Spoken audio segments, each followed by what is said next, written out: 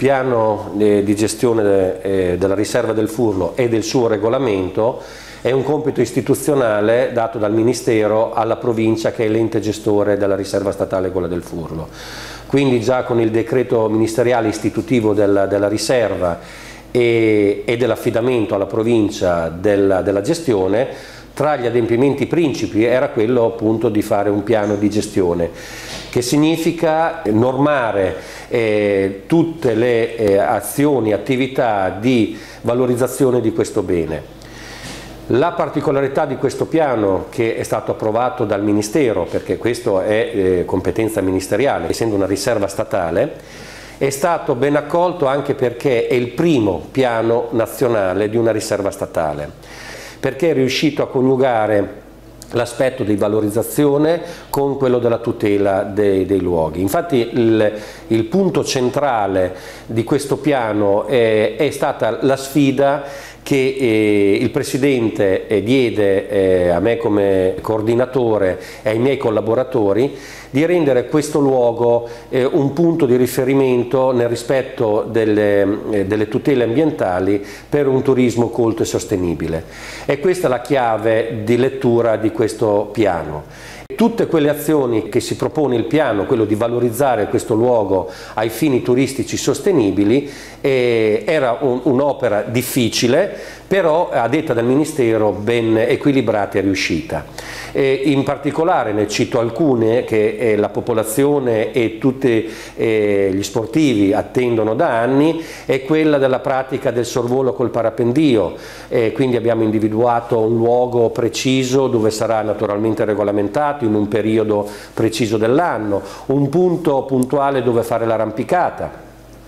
la possibilità di utilizzare il candigliano con dei piccoli natanti e, e la pesca no kill lungo sempre il Candigliano. Ecco, queste sono queste eh, azioni che eh, prima del, del, dell'atto costitutivo della, della, riserva, che ricordo del 2001, erano praticate in quanto eh, consoni con eh, le normative previgenti, con il decreto le avevano vietate. Ecco, quindi siamo riusciti eh, in una difficoltà comunque normativa e gestionale avere questo connubio tra tutela e fruizione sostenibile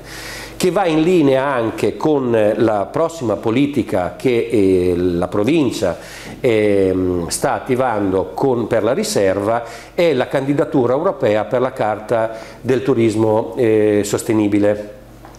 È un ulteriore passo in avanti che eh, saranno queste azioni di fatto eh, certificate dal Parlamento europeo dopo un lungo processo che ci vede protagonisti anche tutti gli operatori della, della, zona e gli amministratori, perché ricordo tra l'altro che, eh, lo ricordo sempre, che la riserva statale comprende il territorio di cinque comuni, Acqualagna, Cagli, Fossombrone, Fermignano e Urbino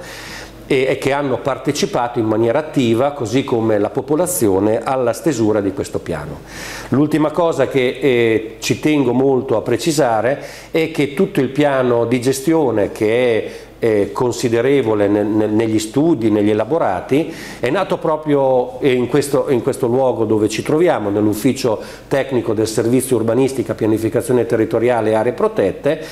e, i collaboratori sotto la, il mio coordinamento, ma diciamo che la, la mente che ha, ha, ha, coordinato in materia scientifica è il dottor eh, Gubellini Leonardo,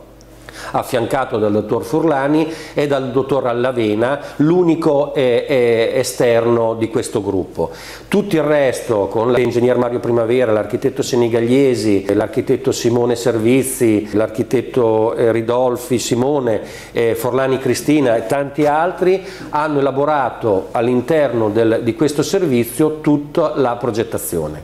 Ora adesso è disponibile eh, nel nostro sito eh, della riserva, lo potete consultare direttamente dal, eh, dal sito del Ministero dell'Ambiente che l'ha pubblicato dopo averlo appunto pubblicato nella Gazzetta Ufficiale non più tardi del, nel mese di settembre. Adesso è il momento più difficile perché eh, il piano ci dà norme, criteri, ma lo dobbiamo eh, applicare. Quindi spetta alle, alle cinque amministrazioni e alla provincia come ente gestore, cinque amministrazioni comunali,